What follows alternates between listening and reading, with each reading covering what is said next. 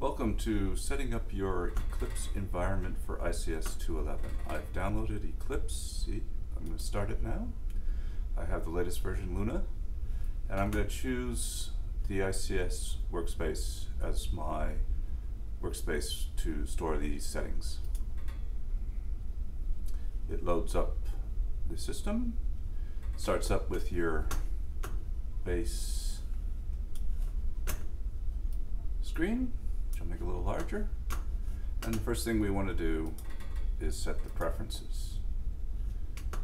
We go to General, Editors, Text Editors, and we see that we want the tab width. I prefer 2. We want spaces for tabs.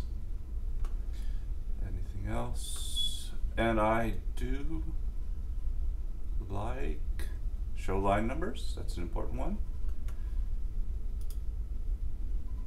And that is it for the general text editor for Java. We want to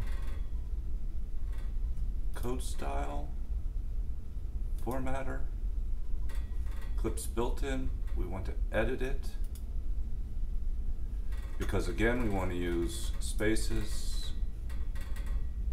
We don't use tabs. We use spaces only.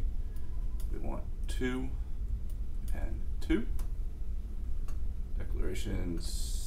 braces looks good white space we've got space around our operators and our equals looks good. Blank lines. Looks good. We might want to increase this to two. Nah, one. New lines. We want the brace to be at the end, matching with that.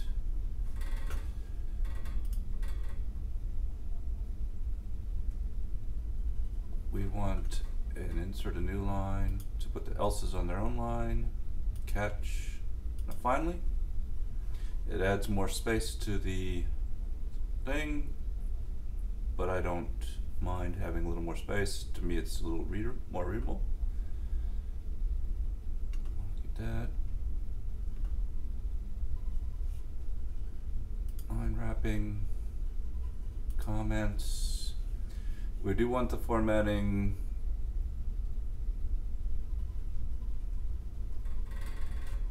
Let's go look.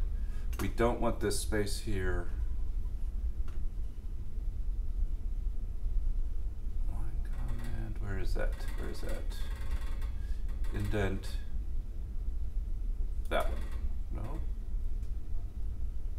That one. I don't like that. don't like the new line after the param tags. I like seeing the data right after the name of the variable.